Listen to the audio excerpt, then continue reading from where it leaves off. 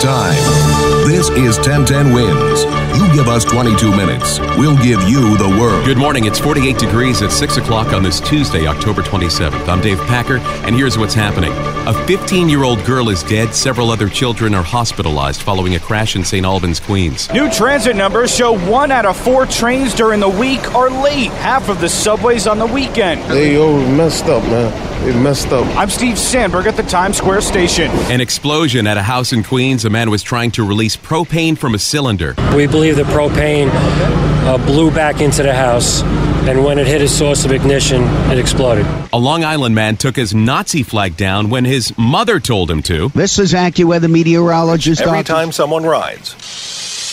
Wins News Time 601. Time for traffic and transit on the ones. Here's Pete Tauriello. We still have a closure in effect on 1011 on 1010 Wins. Wins News Time 602. A 15 year old girl is dead. Several other girls are hospitalized following a bad crash in St. Albans, Queens.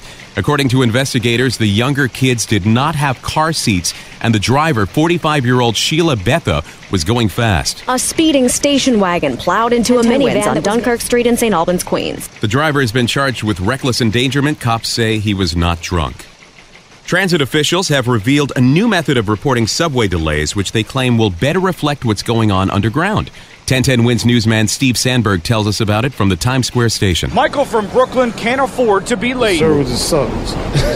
Steve Sandberg, 1010 wins at the Times Square station. Nassau County cops have had no comment about a report of an off duty officer firing shots at suspects in an attempted carjacking in Elmont early today. A possible suspect later walked into Long Island Jewish Medical Center with a gunshot wound. The off duty cop was treated for an injury.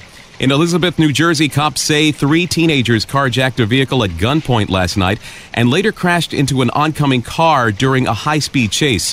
One teenager was killed and two others were injured. The driver of the second vehicle was not seriously hurt. Wins News Time 609. 14 Americans were killed in helicopter crashes in Afghanistan yesterday in what was one of the deadliest days in the Afghanistan war for the U.S. military.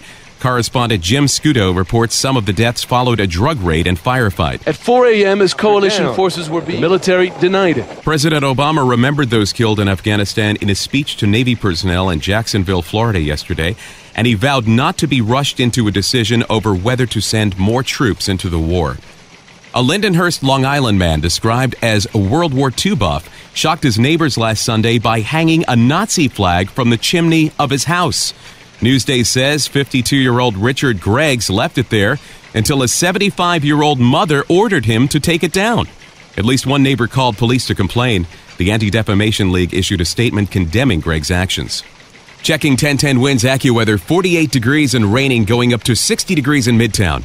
Wins News Time 619. Recently, I've had a NeighborWorks and the Ad Council. More people wake up to 1010 Wins than any other station in the nation. Jim Maloney is our editor. I'm Dave Packer. The News Watch never stops.